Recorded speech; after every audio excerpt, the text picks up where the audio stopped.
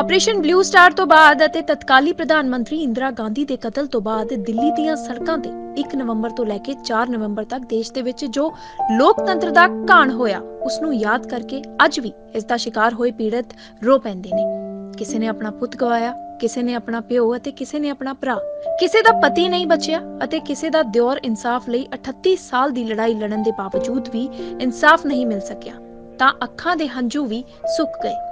ਪਰ ਜਦੋਂ ਇਹ ਹਫਤਾ ਸ਼ੁਰੂ ਹੁੰਦਾ ਹੈ ਤਾਂ ਅੱਜ ਵੀ ਕਤਲੇਆਮ ਦੇ ਪੀੜਤਾਂ ਨੂੰ ਮੌਤ ਦਾ ਉਹ ਮੰਜ਼ਰ ਯਾਦ ਆ ਜਾਂਦਾ ਹੈ ਅਤੇ ਨਾ ਚਾਹੁੰਦੇ ਹੋਏ ਵੀ ਅੱਖਾਂ ਨਮ ਹੋ ਜਾਂਦੀਆਂ ਨੇ। ਅੱਜ ਦੀ ਇਸ ਸਟੋਰੀ ਵਿੱਚ ਅਸੀਂ ਤੁਹਾਨੂੰ ਮਿਲਵਾਵਾਂਗੇ ਲੁਧਿਆਣਾ ਦੀ ਉਸ ਬਜ਼ੁਰਗ ਔਰਤ ਨਾਲ ਜਿਸ ਨੇ ਆਪਣੇ ਪਤੀ ਅਤੇ ਦੇਵਰ ਨੂੰ ਅੱਖਾਂ ਸਾਹਮਣੇ ਜਿੰਦਾ ਸੜਦੇ ਦੇਖਿਆ।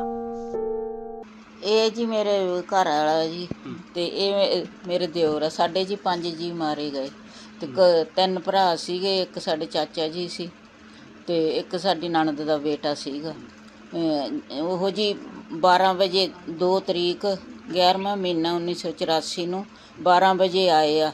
ਆਉਂਦਿਆਂ ਨੇ ਉਹਨਾਂ ਨੇ ਪਾਊਡਰ ਜਿਹਾ ਛਿੜਕ ਕੇ ਅੱਗ ਲੱਗ ਗਈ ਜੀ ਮਕਾਨ ਨੂੰ। ਸਾਡੇ ਮੇਰੇ ਸਾਡੇ ਸਰਦਾਰ ਜੀ ਪਹਿਲਾਂ ਬਾਹਰ ਨਿਕਲੇ ਹੁਣ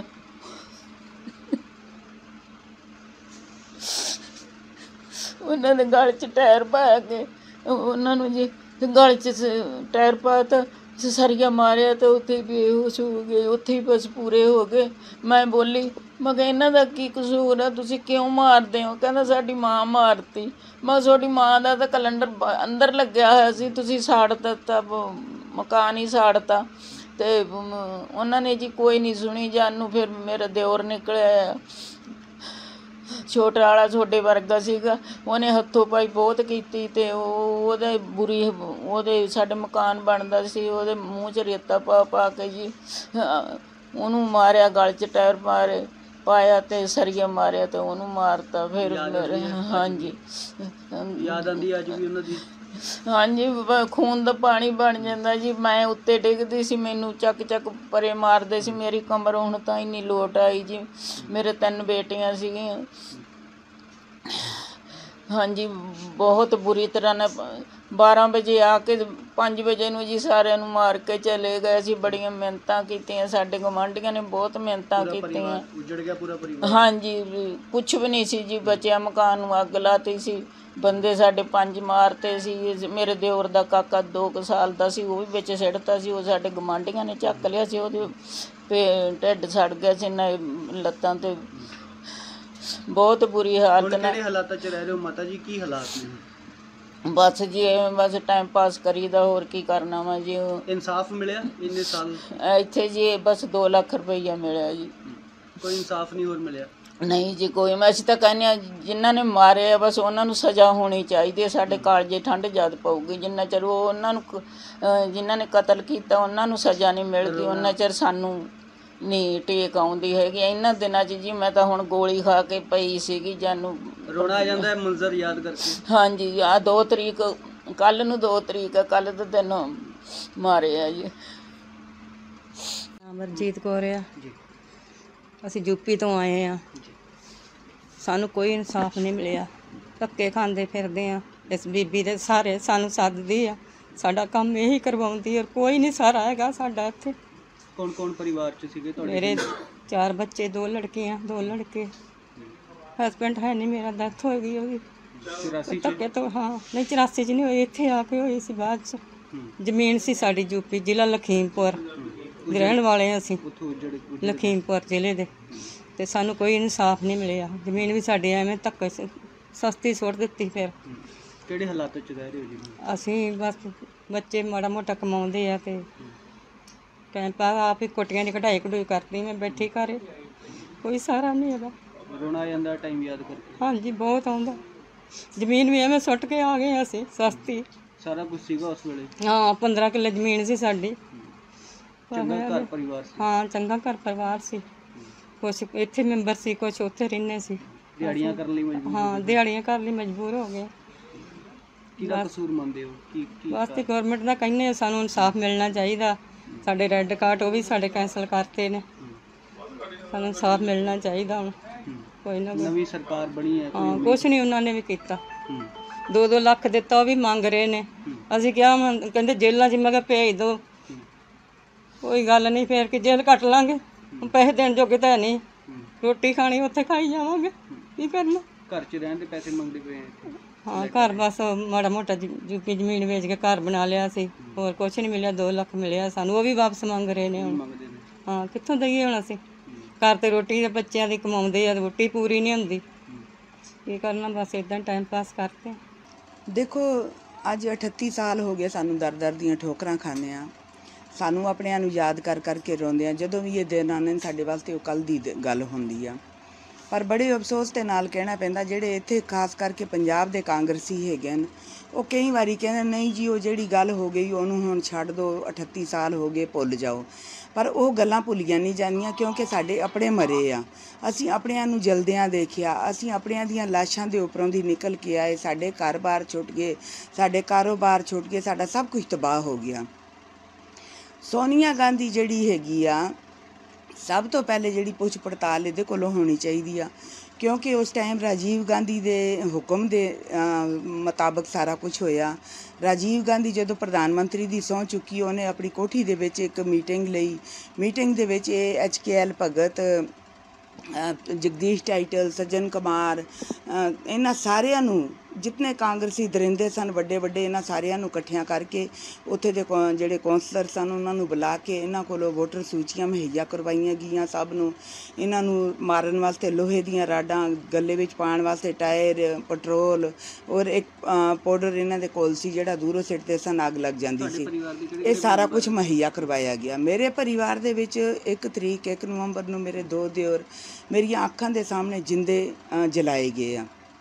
ਮੇਰੇ ਘਰ ਵਾਲੇ ਨੂੰ ਮਾਰ ਕੇ ਸਿੱਟ ਗਏ ਸਨ। ਉਹ ਫੈਕਟਰੀ ਗਏ ਹੋਏ ਸਨ ਕੀਰਤੀ ਨਗਰ ਜਦੋਂ ਉਥੋਂ ਵਾਪਸ ਆ ਰਹੇ ਸਨ ਮੰਗੋਲਪੁਰੀ ਨੂੰ ਤੇ ਉਹਨਾਂ ਨੂੰ ਰਸਤੇ ਵਿੱਚ ਮਾਰ ਕੇ ਸਿੱਟ ਗਏ ਸਨ। ਕੋਈ ਉਹਨਾਂ ਨੂੰ ਉਥੋਂ ਚੁੱਕ ਕੇ ਮੈਡੀਕਲ ਹਸਪਤਾਲ ਜਾ ਕੇ ਦਾਖਲ ਕਰਵਾ ਆਇਆ ਸੀ। ਸਾਨੂੰ 8 ਦਿਨਾਂ ਬਾਅਦ ਪਤਾ ਲੱਗਿਆ ਕਿ ਉਹ ਜਿੰਦੇ ਨੇ। ਪਰ ਉਹ ਜਿੰਦਿਆਂ ਮਰਿਆਂ ਤੋਂ ਵੀ ਬੱਤਰ ਹੋ ਗਏ ਸਨ। 35 ਸਾਲ ਉਹਨਾਂ ਨੇ ਬੈੱਡ ਤੇ ਕੱਟੇ ਨੇ। 35 ਸਾਲ ਬਾਅਦ ਉਹਨਾਂ ਦੀ 2 ਸਾਲ ਪਹਿਲੇ ਡੈਥ ਹੋਈ ਆ। ਪਰ ਮੈਂ ਇਹ ਕਹਿਣਾ ਚਾਹੁੰਦੀ ਆ ਇਹ ਜੋ ਕੁਝ ਵੀ ਹੋਇਆ, ਇਹ ਸਾਰਾ ਰਾਜੀਵ ਗਾਂਧੀ ਦੇ ਕਹਿਣ ਤੇ ਹੋਇਆ, ਰਾਜੀਵ ਗਾਂਧੀ ਦੇ ਹੁਕਮਾਂ ਤੇ ਹੋਇਆ। ਸੋ ਅੱਜ ਇਸ ਜਿਹੜੀ ਪੁੱਛ ਪੁੱਛ ਪੜਤਾਲ ਹੈਗੀ ਆ, ਇਹਦੇ ਵਿੱਚ ਸਭ ਤੋਂ ਪਹਿਲੇ ਸੋਨੀਆ ਗਾਂਧੀ ਨੂੰ ਲੈਣਾ ਚਾਹੀਦਾ। ਸੋਨੀਆ ਗਾਂਧੀ ਤੋਂ ਪੁੱਛ ਪੜਤਾਲ ਹੋਣੀ ਚਾਹੀਦੀ ਆ, ਕਿਉਂਕਿ ਜਦੋਂ ਹੁਣ ਸੋਨੀਆ ਗਾਂਧੀ ਪ੍ਰਧਾਨ ਬਣੀ ਤੇ ਉਹ ਜਿਹੜਾ ਆਪਣਾ ਸੀਗਾ ਸਾਡਾ ਕਾਤਲ ਜਗਦੀਸ਼ ਟਾਈਟਲ ਉਹ ਵਿੱਚ ਸੀਗਾ। ਤੇ ਮੈਂ ਕੀ ਇਹ ਸੋਨੀਆ ਗਾਂਧੀ ਕੀ ਲੋਕਾਂ ਨੂੰ ਦੱਸਣਾ ਚਾਹੁੰਦੀ ਹੈ ਪਹਿਲਾਂ ਮੇਰੇ ਘਰ ਵਾਲੇ ਨੇ ਇਹਨਾਂ ਨੂੰ ਹੁਕਮ ਦੇ ਕੇ ਇਹਨਾਂ ਤੋਂ ਕਤਲੇਆਮ ਕਰਵਾਇਆ, ਫਿਰ ਇਹਨਾਂ ਨੂੰ ਵਜ਼ੀਰੀਆਂ ਦਿੱਤੀਆਂ ਵੱਡੇ ਵੱਡੇ ਅਹੁਦੇ ਦਿੱਤੇ। ਤੇ ਮੈਂ ਅੱਜ ਵੀ ਇਹਨਾਂ ਨੂੰ ਅਲੱਗ ਨਹੀਂ ਕੀਤਾ। ਇਹ ਉਹਨਾਂ ਨੂੰ ਤਾਂ ਆਪਣੇ ਨਾਲ ਮਿਲਾ ਕੇ ਬੈਠੇ ਹੋਏ ਨੇ, ਤਾਂ ਉਹਨਾਂ ਨੂੰ ਵੱਡੇ ਵੱਡੇ ਅਹੁਦੇ ਦੇ ਰਹੇ ਆ, ਤਾਂ ਉਹਨਾਂ ਦੀ ਚਾਪਲੂਸੀ ਕਰ ਰਹੇ ਨੇ ਕਿ ਕਿਤੇ ਕਿਸੇ ਪਾਸਿਓਂ ਵੀ ਉਹਨਾਂ ਦੇ ਪਰਿਵਾਰ ਦਾ ਨਾਮ ਨਾ ਆ ਜਾਵੇ। ਪ੍ਰਧਾਨ ਜੀ, ਕੀ ਨਾਮ ਹੈ ਤੇ ਕਿਹੜੀ ਐਸੋਸੀਏਸ਼ਨ ਹੈ? ਮੇਰਾ ਨਾਮ ਸੁਰਜੀਤ ਸਿੰਘ ਪ੍ਰਧਾਨ ਦੰਗਾ ਪੀੜਤ ਵੈਲਫੇਅਰ ਸੁਸਾਇਟੀ ਪੰਜਾਬ।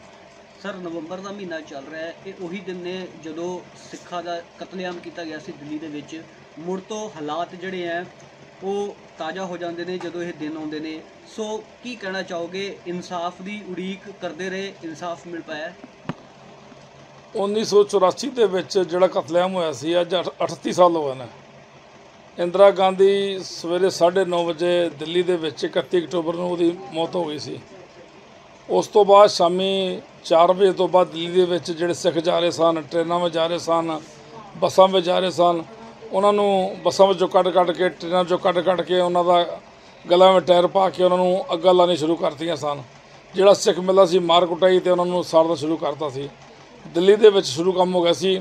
ਰਾਤ ਨੂੰ ਫਿਰ ਉਹਨਾਂ ਨੇ ਕੀ ਕੀਤਾ, ਜਿਹੜੇ ਸਿੱਖਾਂ ਦੀਆਂ ਬਸਤੀਆਂ ਸਨ ਉਸ ਵੇਲੇ ਰਾਜੀਵ ਗਾਂਧੀ ਜਿਉਂਦਾ ਸੀ। ਰਾਜੀਵ ਗਾਂਧੀ ਨੇ ਆਪਣੇ ਐਮਐਲਏ ਬੁਲਾ ਕੇ ਮੈਂਬਰ ਪਾਰਲੀਮੈਂਟ ਟੈਟਲਰ ਸੀ। ਉਸ ਵੇਲੇ ਐਚਕੇਐਲ ਭਗਤ ਸੀ, ਉੱਥੇ ਕਮਲਨਾਥ ਸੀ, ਵਿੱਚ ਜਗਦੀਸ਼ ਟੈਟਲਰ ਸੀ, ਸੱਜਣ ਕੁਮਾਰ ਸੀ, ਸਾਰਿਆਂ ਨੂੰ ਬੁਲਾ ਕੇ ਇਹਨਾਂ ਲੁਸਟਾਂ ਮੁਹੱਈਆ ਕਰਾ ਕੇ ਜਿਹੜੇ ਕਾਉਂਸਲਰ ਸਨ, ਸਿੱਖਾਂ ਦੀ ਆਬਾਦੀਆਂ ਵਿੱਚ ਆਪਣੇ ਜਿਹੜੇ ਦੋ ਦੋ ਤਿੰਨ ਤਿੰਨ ਸੌ ਬੰਦੇ ਇੱਧਰ ਹਰਿਆਣੇ ਤੋਂ ਬੁਲਾ ਲਿਆ ਨਾ ਗੁਜਰ ਬੁਲਾ ਲਿਆ ਇੱਧਰੋਂ, ਔਰ ਦਿੱਲੀੋਂ, ਉਧਰ ਗਾਜ਼ੀਆਬਾਦ ਤੋਂ ਯੂਪੀ ਤੋਂ ਜਿਹੜੇ ਸਨ ਜਾਟ ਦੂਜੇ ਕੌਮ ਸਨ, ਜਿਹੜੇ ਕਾਂਗਰਸੀ ਵਰਕਰ ਸਨ ਉਹਨਾਂ ਦੇ, ਉਹਨਾਂ ਨੂੰ ਬੁਲਾ ਕੇ ਇਹਨਾਂ ਸਿੱਖਾਂ ਦੇ ਉੱਪਰ ਦਿੱਲੀ ਹਮਲੇ ਕਰਨੇ ਸ਼ੁਰੂ ਕਰ ਦਿੱਤੇ। ਤੇ ਇਹ ਇਹ ਤਿੰਨ ਦਿਨ, ਤਿੰਨ ਰਾਤਾਂ ਜਿਹੜੀਆਂ ਇਹ 31 ਸ਼ਾਮ ਨੂੰ ਸ਼ੁਰੂ ਹੋਇਆ, ਇਹ 4 ਤਰੀਕ ਸ਼ਾਮ ਤੱਕ ਇਹ ਟਾਂਡਵ ਚੱਲਦਾ ਰਿਹਾ। ਸਿੱਖਾਂ ਦੇ ਕਤਲੇਆਮ ਗਲਾਂ ਵਿੱਚ ਟੈਂਟਰ ਪਾ ਕੇ ਸਾਲੇ ਸਾੜਦੇ ਗਏ ਇੱਕ ਉਸ ਨਾਲ ਕੋਲ ਬਰੂਦ ਸੀ, ਬਰੂਦ ਸੁੱਟਦੇ ਸਨ ਤੇ ਅੱਗ ਲਾ ਕੇ ਤੇ ਫਿਰ ਉੱਥੇ ਡ- ਭੰਗੜੇ ਪਾਦੇ ਸਨ। ਦੇਖੋ ਬੰਦਰ ਨਾਚ ਰਿਹਾ ਹੈ ਬੰਦਰ ਨਾਚ ਰਿਹਾ, ਇਸ ਤਰੀਕੇ ਦੇ ਨਾਲ ਸਿੱਖਾਂ ਦਾ ਕਤਲੇਆਮ ਕੀਤਾ। ਸਾਡੀਆਂ ਜਵਾਨ ਧੀਆਂ ਭੈਣਾਂ ਨੂੰ ਚੁੱਕ ਕੇ ਲੈ ਗਏ ਉਥੋਂ। ਉਹਨਾਂ ਰੇਪ ਹੋਏ। ਤਕਰੀਬਨ 250 ਤੇ ਕੁੜੀਆਂ ਚੁੱਕ ਕੇ ਲੈ ਨੌਜਵਾਨ ਦਿੱਲੀੋਂ ਇਹ ਜਿਹੜੇ ਗੁਜਰ ਦੇ ਉੱਥੇ ਦੇ ਜਿਹੜੇ ਕਾਂਗਰਸੀ ਸਨ ਇਹਨਾਂ ਦੇ ਟੈਟਲਰ ਦੇ ਵਰਕਰ ਸਨ ਸੱਜਣ ਕੁਮਾਰ ਦੇ, ਭਗਤ ਤੇ ਅਸ਼ਕਲ ਭਗਤ, ਜਿਹੜਾ ਮਰ ਗਿਆ ਭਗਤ, ਕੀੜੇ ਪੈ ਪੈ ਕੇ ਮਰਿਆ ਉਹਨੇ ਵੀ ਬੜਾ ਜ਼ਬਰਦਸਤ ਉਹਨੇ ਕਤਲੇਆਮ ਕਰਵਾਇਆ, ਇਹ ਕਤਲੇਆਮ ਕਰਵਾਇਆ ਸੀ। ਇਹ ਸਾਰਾ ਕੁਝ ਰਾਜੀਵ ਗਾਂਧੀ ਦੇ ਇਸ਼ਾਰੇ ਤੋਂ ਹੋਇਆ। ਅੱਜ 38 ਸਾਲ ਲੋਕਾਂ ਨੇ 14 ਕਮਿਸ਼ਨ ਬਣੇ ਨੇ, ਲੇਕਿਨ ਕਿਸੇ ਵੀ ਕਮਿਸ਼ਨ ਦੀ ਸਿਫਾਰਿਸ਼ ਤੇ ਕੋਈ ਸਜ਼ਾ ਨਹੀਂ ਹੋਈ। ਲਾਸਟ ਬਣਿਆ ਸੀ ਨਾਨਾ ਵੱਡੀ ਕਮਿਸ਼ਨ। ਨਾਨਾ ਵੱਡੀ ਕਮਿਸ਼ਨ ਵਿੱਚ ਉਹਨਾਂ ਕਿਹਾ ਸੀ ਕਿ ਜਿਹੜੇ ਦੋਸ਼ੀ ਨੇ ਇਹਨਾਂ ਨੂੰ ਸਜ਼ਾਵਾਂ ਦਿਓ ਉਹਦੇ ਵਿੱਚ ਕਮਲ ਦਾ ਨਾਂ ਹੈਗਾ ਕਮਲ ਨਾਥ ਦਾ ਟੈਟਲਰ ਦਾ ਵੀ ਸੀ ਵਿੱਚ ਔਰ ਕਈ ਕੌਂਸਲਰ ਸਨ, ਸੱਜਣ ਕੁਮਾਰ ਨੂੰ ਚਲੋ ਉਮਰ ਕੈਦ ਹੋ ਗਈ ਹੈ। ਬਾਕੀ ਦੇ ਜਿਹੜੇ ਪੁਲਿਸ ਅਫਸਰ ਸਨ ਵਿੱਚ ਇਨਵੋਲ ਉਹਨਾਂ ਨੂੰ ਉਹਦੇ ਖਿਲਾਫ ਕੋਈ ਕਾਰਵਾਈ ਨਹੀਂ ਹੋਈ। ਇਸ ਤਰੀਕੇ ਦੇ ਨਾਲ ਇਹ ਨੰਗਾ ਨਾਚ ਚਾਰ ਦਿਨ ਹੋਇਆ, ਸਾਨੂੰ ਕੋਈ ਇਨਸਾਫ ਨਹੀਂ ਮਿਲਿਆ। ਸਾਨੂੰ 38 38 ਸਾਲ ਹੋ ਗਏ ਸਾਡੀ ਸੁਸਾਇਟੀ ਲੜਾਈ ਲੜ ਰਹੀ ਹੈ, ਅਸੀਂ ਹਾਈ ਕੋਰਟਾਂ ਵਿੱਚ ਗਏ ਹਾਂ, ਬੜੇ ਧਰਨੇ ਮਾਰੇ, ਬੜਾ ਵੱਡਾ ਐਜੀਟੇਸ਼ਨ ਅਸੀਂ ਕੀਤਾ। ਸਾਡੀ ਮੰਗ ਹੈ, ਭਾਰਤ ਸਰਕਾਰ ਤੋਂ, ਮੋਦੀ ਜੀ ਤੋਂ ਅਮਿਤ ਸ਼ਾਹ ਜੀ ਤੋਂ ਇੱਕ ਕਮਿਸ਼ਨ ਬਣਾ ਕੇ ਜਿਹੜਾ ਵਰਲਡ ਲੈਵਲ ਦਾ ਕਮਿਸ਼ਨ ਹੋਵੇ, ਜਿਹਦੇ 94 ਸਿਰੇ ਤੋਂ ਇਹ ਗੋਈਆਂ ਭੁਗਤਾਈ ਜਾਣ। ਇਹ ਸਾਜ਼ਿਸ਼ ਕਿਹਨੇ ਰਚੀ ਸੀ? ਇਹ ਕਤਲੇਆਮ ਕਿਹਨੇ ਕਰਵਾਇਆ? ਇਹ ਗਾਂਧੀ ਪਰਿਵਾਰ ਨੇ ਕਰਾਇਆ। ਜਿੰਨੇ ਕਤਲੇਆਮ ਕਰਵਾਇਆ ਇੱਕ ਵਾਈਟ ਪੇਪਰ ਸੈਂਟਰ ਗਵਰਨਮੈਂਟ ਜਾਰੀ ਕਰੇ। ਨਾ ਜਨਤਕ ਕਰਨ। ਗਾਂਧੀ ਪਰਿਵਾਰ ਨੇ ਕਰਾਇਆ ਕਿੰਨੇ ਕਰਾਇਆ? ਲੋਕਾਂ ਸਾਹਮਣੇ ਸੱਚਾਈ ਆਣੀ ਚਾਹੀਦੀ ਹੈ। 38 ਸਾਲ ਲੋਕਾਂ ਨੇ ਇਹ ਕਤਲੇਆਮ ਨੂੰ ਹੋਇਆ ਇਸ ਤੋਂ ਸਜ਼ਾਵਾਂ ਹੋਣ। ਸਾਡੇ ਕੋਲੋਂ ਭੈਣਾਂ ਬੈਠੀਆਂ ਨੇ, ਮੇਰੀ ਭੈਣ ਬੈਠੀ ਤੇ ਜੀ ਛੇ ਜੀਆਂ ਦਾ ਕਤਲੇਆਮ ਹੋਇਆ। ਮਰਤਾਲ ਬੈਠੇ ਨੇ। ਇਹ ਬੀਬੀ ਗੁਰਦੀਪ ਕੌਰ ਦੇ ਦੋ ਦਿਓਰਾਂ ਨੂੰ ਸ਼ਹੀਦ ਕੀਤਾ ਗਿਆ। 84 ਨੂੰ ਕੀਤਾ ਗਿਆ ਅਜੇ ਤੱਕ ਇਨਸਾਫ ਨਹੀਂ ਮਿਲਿਆ।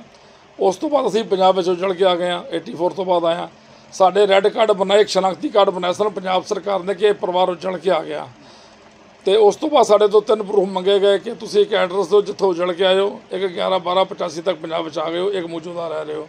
ਅਸੀਂ ਉਹ ਐਡਰੈਸ ਦੇ ਦਿੱਤੇ। ਜਦੋਂ ਉੱਥੇ ਅੱਗਾਂ ਲੱਗੀਆਂ, ਅਸੀਂ ਕੋਈ ਸਮਾਨ ਚੁੱਕ ਨਹੀਂ ਸਕੇ। ਅਸੀਂ ਕੋਈ ਆਪਣੇ ਕਾਗਜ਼ ਨਹੀਂ ਚੁੱਕ ਸਕੇ। ਸਾਡੇ ਸਭ ਲੋਕਾਂ ਦਾ ਸੜ ਕੇ ਸੁਆਹ ਦਿੱਲੀ ਹੋ ਗਿਆ। ਕਾਨਪੁਰ ਦੇ ਵਿੱਚ ਬਹੁਤ ਵੱਡਾ ਕਤਲੇਆਮ ਹੋਇਆ 250 ਸਿੱਖਾਂ ਦਾ ਉੱਥੇ ਕਤਲੇਆਮ ਹੋਇਆ ਮੈਂ ਟਾਵਰ ਡਿਸਟ੍ਰਿਕਟ ਤੋਂ ਆਇਆ। ਬੁਖਾਰੋ ਉੱਥੇ ਸਟੀਲ ਦੀ ਪੱਠੀ ਸੀ, ਉਹਦੇ ਵਿੱਚ ਦੇਖੋ ਉਹਨਾਂ ਨੇ ਤਕਰੀਬਨ 150 ਬੰਦਿਆਂ ਨੂੰ, ਜਿਹਦੇ ਨੂੰ ਇਧਰੋਂ ਲੇਬਰ ਗਈ ਸੀ, ਪੰਜਾਬ ਜੋ ਸਾਡੇ ਭਰਾ ਜਿਹੜੇ ਨੌਕਰੀਆਂ ਕਰਨ ਗਏ ਸਨ ਸਟੀਲ ਫੈਕਟਰੀ ਉਹਨਾਂ ਨੂੰ ਜਿੰਦਾ ਸਾੜ ਦਿੱਤਾ ਗਿਆ। ਉੱਥੇ ਵੀ ਕੋਈ ਕਮਿਸ਼ਨ ਨਹੀਂ ਮਨਾਇਆ, ਭਾਰਤ ਸਰਕਾਰ ਨੇ, ਉਹਨਾਂ ਦੇ ਕੋਈ ਕਾਰਵਾਈ ਨਹੀਂ ਹੋਈ। ਕਾਨਪੁਰ 6 ਬੰਦੇ ਫੜੇ, ਸਾਡੇ ਕੋਲ ਐਸਟੇਟੀ ਇੱਥੇ ਆਂਦੀ ਰਹੀ ਹੈ। ਪੰਜਾਬ ਵਿੱਚ ਆਈ ਅਸੀਂ ਉਹਨਾਂ ਦੀ ਮਦਦ ਕੀਤੀ। ਅਸੀਂ 18 19 ਗਵਾਹ ਵੀ ਭੁਗਤਾਏ ਨੇ ਜਿਹੜੇ ਜਿਹੜਾ ਉਸ ਵੇਲੇ ਕਤਲੇਆਮ ਕਾਨਪੁਰ ਦੇਖੇ ਜਿਹੜੇ ਅ, 84 ਤੋਂ ਬਾਅਦ ਪੰਜਾਬ ਪਲਾਨ ਕਰਕੇ ਆ ਕੇ ਸਨ ਪਰਿਵਾਰ ਉਹਨਾਂ ਕੋਲ ਆਏ ਉਹਦੇ ਵਿੱਚ 6 ਬੰਦੇ ਜਿਹੜੇ ਛੁੱਟ ਗਏ ਨੇ।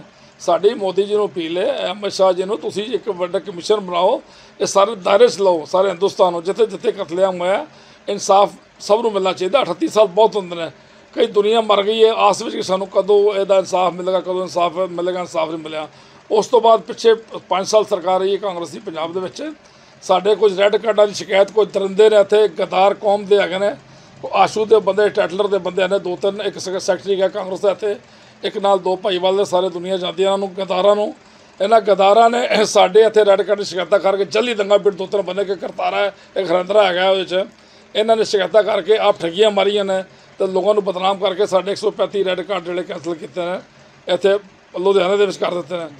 ਨਵੀਂ ਸਰਕਾਰ ਬਣੀ ਆਮਦੀ ਇਹਨੇ ਆ ਕੇ ਸਾਡੀਆਂ ਅਪੀਲਾਂ ਪਈਆਂ ਸਨ। ਐਫਸੀਆਰ ਦੇ ਕੋਲ ਅਸੀਂ ਹਾਈ ਕੋਰਟ ਨੇ ਉਹ ਇੱਕ ਆਦੇਸ਼ ਜਾਰੀ ਕੀਤਾ ਸੀ ਕਿ ਜਿਨ੍ਹਾਂ ਦੇ ਰੈੱਡ ਕਾਰਡ ਕੈਂਸਲ ਹੋਏ ਨੇ, ਉਹ ਜਿਹੜਾ ਆਪਣੇ ਕਮਿਸ਼ਨਰ ਪਟਿਆਲੇ ਦੇ ਕੋਲ ਜਾਂ ਐਫਸੀਆਰ ਕੋਲ ਅਪੀਲ ਪਾ ਦੇਣ। ਉਹ ਅਪੀਲਾਂ ਪਈਆਂ ਸਨ। ਆਂਦਿਆਂ ਸਾਰੀ 6 ਮਹੀਨੇ 7 ਮਹੀਨੇ ਹੋਏ ਸਰਕਾਰ ਬੰਦਿਆਂ, ਇਹਨਾਂ ਨੇ ਉਹ ਰੈੱਡ ਕਾਰਡ 135 ਨਜਾਇਜ਼ ਹੀ ਗਰੀਬਾਂ ਨੂੰ ਐਵੇਂ ਮਾਰਤਾ, ਇਹ ਪੈ- ਸਾਡੀਆਂ ਭੈਣਾਂ ਬੈਠੀਆਂ ਮੇਰੇ ਕੋਲ ਜਿਹੜਾ ਰੈੱਡ ਕਾਰਡ ਕੈਂਸਲ ਹੋਏ ਨੇ, ਕੋਈ ਵਿਡ ਹੈ ਕੋਈ ਹੈਂਡੀਕੈਪ ਹੈ ਤੇ ਮੈਂ ਸਰਕਾਰ ਨੂੰ ਅਪੀਲ ਕਰਨਾ, ਮਾਨ ਸਾਹਿਬ, ਤੁਹਾਡੇ ਐਫਸੀਆਰ ਨੇ ਬਹੁਤ ਧੱਕਾ ਨਜਾਇਜ਼ ਨਾ ਕਰੋ, ਗਰੀਬਾਂ ਨੂੰ ਨਾ ਮਾਰੋ ਕਿ ਮਰੇ ਮੁਖਿਆ ਹੈ ਨੇ।